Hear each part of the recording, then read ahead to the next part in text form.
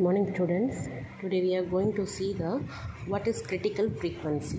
Critical frequency is indicated by the term Fc. Okay, the critical frequency is indicated by the term Fc. So let's see what is the definition for critical frequency.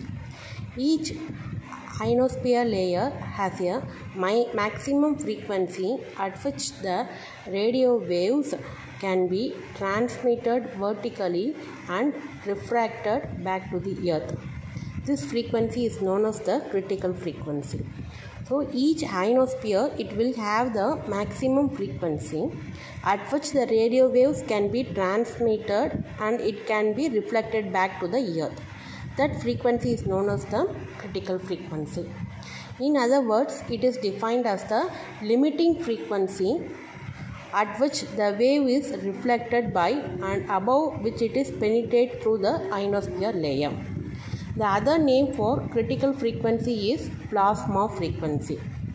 So இந்த ionosphere லேயரில் ஒரு maximum ஃப்ரீக்வன்சியில் it can the radio waves can be it can be reflected again back to the earth okay at some frequency that the wave cannot be uh, reflected again back to the earth. It will be lost as uh, loss energy loss of energy. Okay at that that in that case it will be more than critical frequency. Okay so the, uh, till the critical frequency or when the uh, frequency is equal to the critical frequency then only the radio waves can be transmitted again back to the earth that frequency is called as the critical frequency. The other name for critical frequency is the plasma frequency. So let us see how we can derive the expression for critical frequency.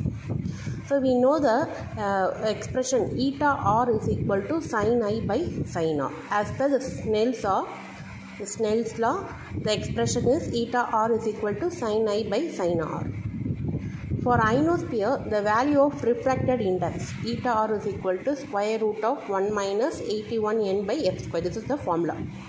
Okay, now we are going to equate this first equation and second equation. Okay, so we have to derive the critical frequency.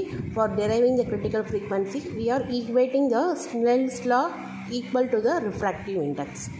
So here we are equating it eta r is equal to sin i by sin r which is equal to square root of 1 minus 81 n by f square. Here where i is the angle of incident, r is the angle of refraction, n is the ion density, f is the frequency of radio wave and eta r is the refractive index.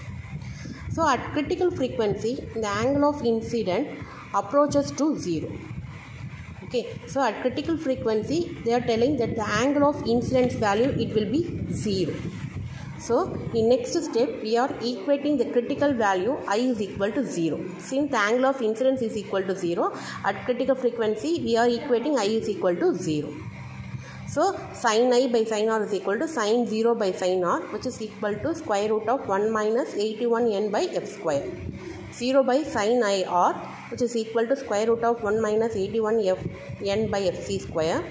You bring this sin r to this right hand side. Okay. So a 0 by anything, uh, 0 by sin r, the value it will be 0. Anything by the 0 by anything, the value will be 0. So here equating this left hand side to be 0. So 0 is equal to square root of 1 minus 81 n by fc square.